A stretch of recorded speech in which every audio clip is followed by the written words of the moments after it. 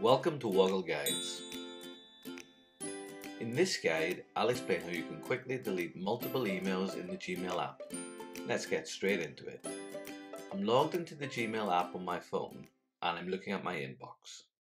To quickly delete a group of emails from my inbox, I need to start by pressing and holding the first email I want to select.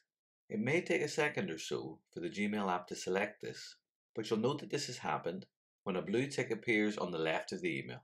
Once I see this, I can then go on to select all of the other emails I want to delete in my group, just by quickly tabbing each of them. You'll see that the blue tick also appears in these emails to indicate that they've been selected as part of the email group, and that the small counter in the top left of the inbox increases as each email is selected. Once you're happy that all the emails you want to delete have been selected, all I need to do is tap on the trash can icon in the top bar, and that group of emails is immediately deleted. Gmail confirms that this has happened.